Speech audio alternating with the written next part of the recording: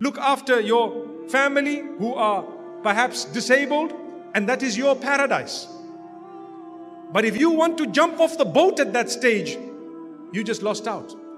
Like some people, they have a child who is disabled, they give the child up for adoption.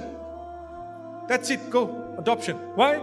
You just jumped off the boat. Allah gave you a chance to earn paradise through serving your child who is perhaps challenged or disabled. And all you did is you jumped off the boat by giving the child away. That's it, I'm gone. I'm no more on the scene. Why? Because the child is disabled. Well, Allah says, We gave you the chance to get paradise just by serving the child. You refused to do it. Well, you gave that opportunity to someone else. The child will still be looked after by another.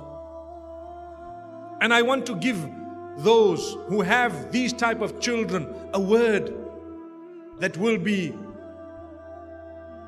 a word of goodness. Do you know that not only paradise, but even in this world, sometimes when Allah blesses you with such a challenged child, Allah opens other doors for you, many other doors. So your sustenance increased your business started doing well. You might, you might be struggling to actually look after your child, but some other things happened. It brought husband and wife closer together, and you were not close so close before that. Some other things happened, and this is why read Surah Al-Sharh. What is Surah Al-Sharh?